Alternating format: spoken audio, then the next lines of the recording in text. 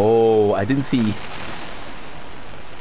You saw the you saw the building. Oh, this is such a nice part too. The duel, Mono versus the Thin Man.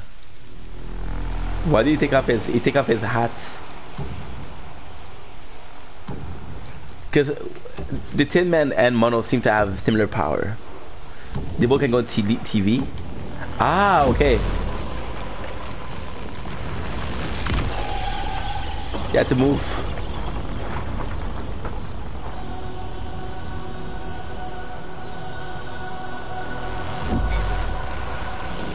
You have them really good.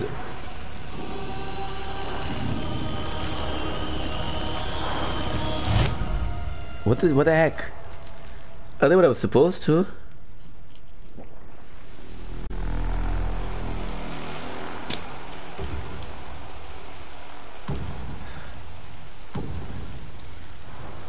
Try that